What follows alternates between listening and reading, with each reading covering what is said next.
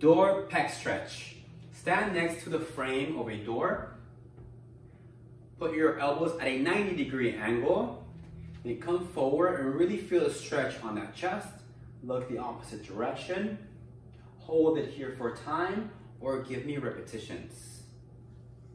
Once you're done doing one angle, go on the lower side of your pec. Once you're done, go a little bit higher.